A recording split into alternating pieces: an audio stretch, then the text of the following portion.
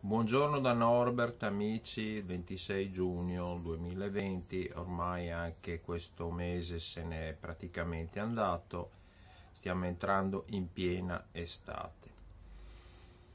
Eh, chi possiede il passato possiede anche il futuro. Questo è il motivo per cui eh, vogliono a tutti i costi con questi nuovi paradigmi di dominazione mondiale, cancellare gli anziani dalla faccia della terra.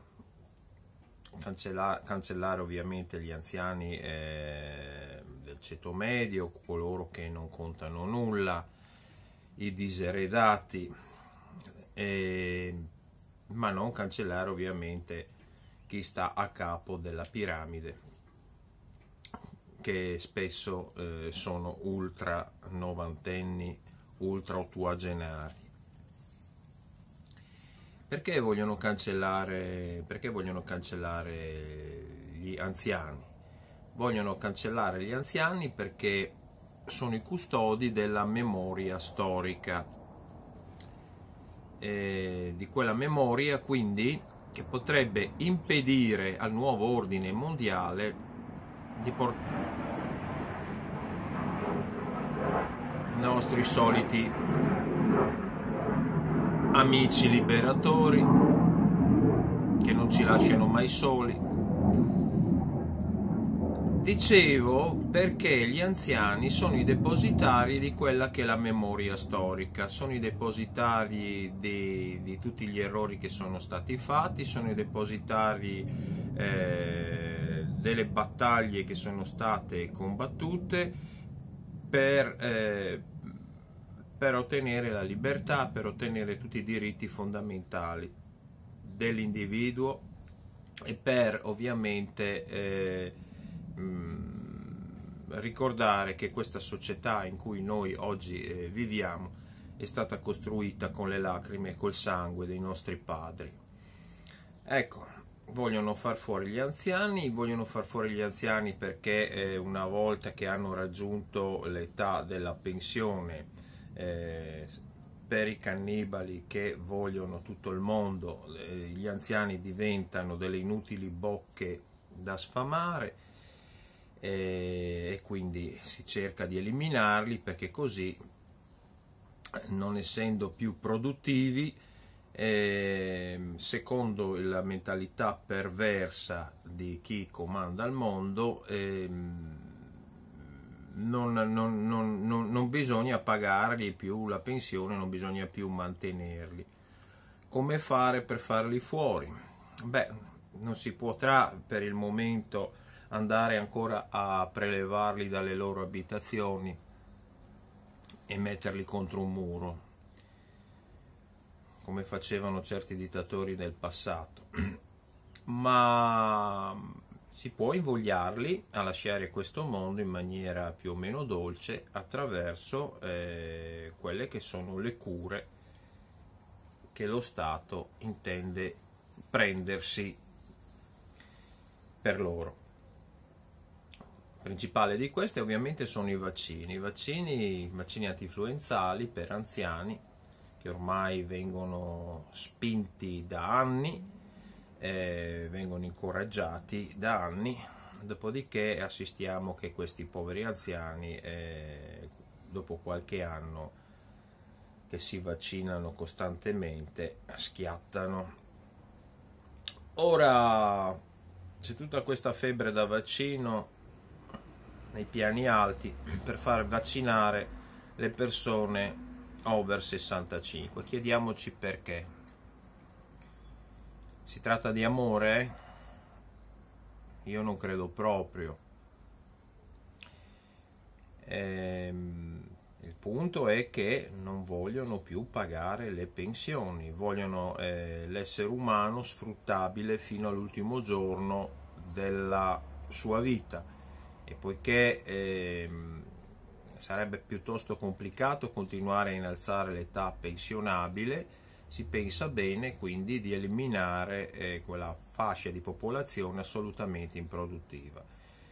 Ma eh, non basta, gli anziani debbono sparire da dalla faccia della terra perché appunto come dicevo poc'anzi sono depositari della memoria storica. Potrebbero quindi insegnare ai nostri piccoli che il mondo non è fatto solo di tecnologia non è fatto solo di materialismo e che non è affatto vero che eh, quello che ci, dice, eh, che ci dice il potere che domina al momento sia per forza la verità o sia per forza giusto. E potrebbero gli anziani ricordare di tutte le battaglie che sono state fatte nel mondo sconfiggere, per sconfiggere le dittature e per dare alla, alla gente un mondo migliore. Ecco, i piccoli tutto questo non lo debbono sapere, non lo debbono imparare. I piccoli dovranno diventare non più proprietà delle famiglie, dove gli si insegna dove si insegnano le cose buone, le cose belle, ma dovranno diventare degli automi di proprietà dello Stato, tirati su, quindi secondo i nuovi paradigmi, secondo i nuovi dogmi. Dunque, prima di tutto dovremmo essere noi, che non siamo più tanto giovani, a non, a non assecondare questo piano perverso, proprio perché noi, che abbiamo una certa esperienza di vita, abbiamo capito come funziona il sistema di questi cannibali, di questi vampiri.